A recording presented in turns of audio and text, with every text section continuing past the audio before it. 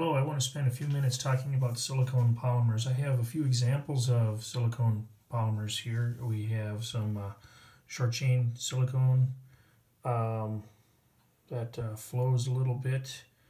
Um, we have some silicone caulk, and both in the tube and uh, this little bead of caulk right here, and uh, some silicone that we produced in our lab from a kit. And actually, this is one of the components of the kit. But let's talk a little bit about silicone chemistry. Uh, a lot of there are a lot of silicones that exist. Um, what we often refer to when we refer to silicones is a specific compound called polydimethyl siloxane, uh, where we have a silicon oxygen backbone in the polymer chain and there's two methyls on each silicon atom in that in that chain. To make polydimethyl siloxane, what people often do is they take this compound, this dichlorodimethylsilane, uh, silane, and react it with water. And what happens is the hydrogens combine with the chlorines to make hydrochloric acid, and the oxygens link to the silicons and make this chain with this repeating silicon oxygen, silicon oxygen, silicon oxygen backbone. Now, if we make short chains of this, as I showed, this it actually makes sort of a viscous liquid, okay?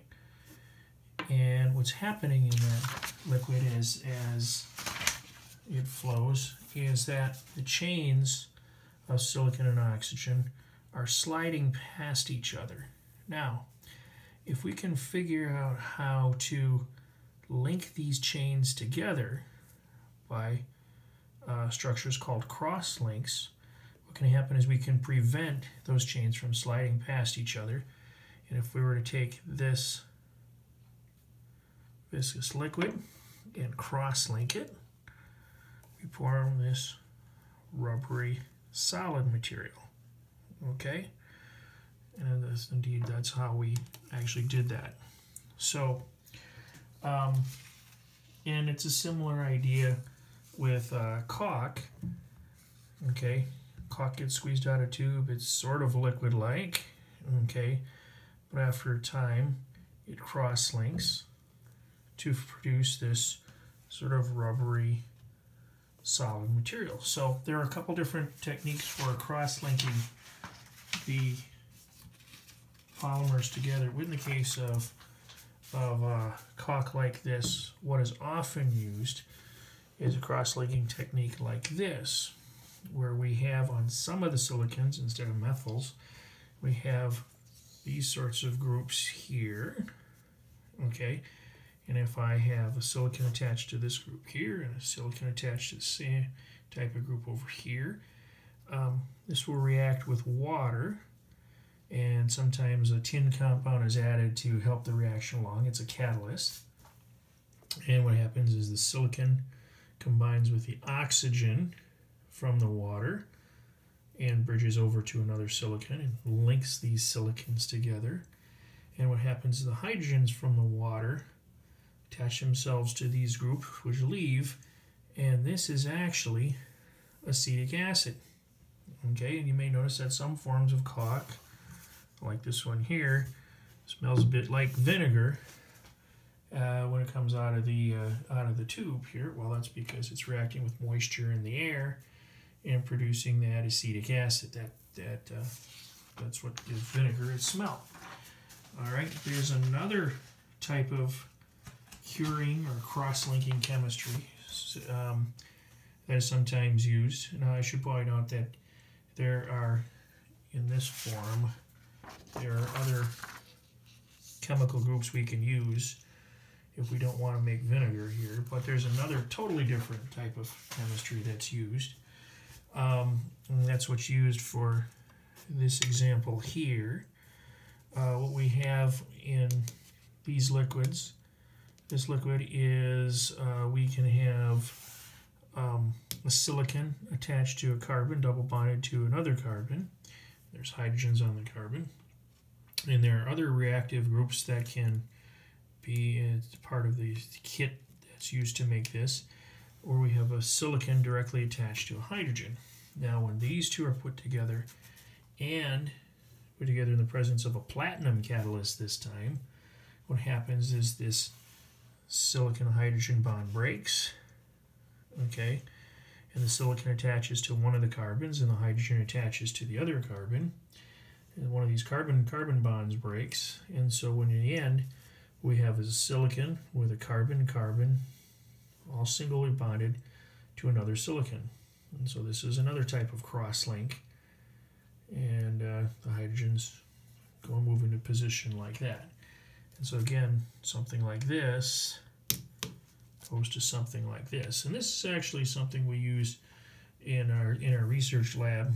This is a commercially available kit of polydimethylsiloxane, but what we do is we take some of this cross-link polymer and we add a palladium compound. There's tetrachloropalladate. And it turns out inside this polymer there's a few silicon hydrogen uh, bonds that have not broken. They're left over from the cross-linking process. And we add the palladium compound to it. It reacts to make palladium metal, which is very finely divided as palladium nanoparticles. And it turns out palladium nanoparticles are black. Okay. And in the bottom of this file here, we have some of this silicone with palladium nanoparticles embedded in it, and you can see that they appear to be black in this vial. Uh, we think what's happening is this reaction takes place as some of the chlorine combines with hydrogen to make hydrogen, hydrogen chloride or hydrochloric acid. And uh, some of the rest of the chemistry we haven't, uh, I haven't quite worked out yet, but um, you can see this little vial here has a bit of a red dye here. We call that methyl red. Okay. And um, what we can do is we can add hydrogen gas to that vial. Um, recently we used a, a solar cell to uh, drive an electrochemical cell to dry, produce hydrogen gas. And we bubbled hydrogen gas into a vial like this and it turned colorless. Okay. And that's because palladium does a wonderful job of picking up hydrogen. Okay, and it can take that and other compounds that come in contact with that palladium that's been in contact with the hydrogen um, can pick up those hydrogens from the palladium, and different reactions can be catalyzed by those palladium nanoparticles. And there's all sorts of different things that can happen. You can take a carbon-carbon triple bond and go to a carbon-carbon double bond by adding hydrogen.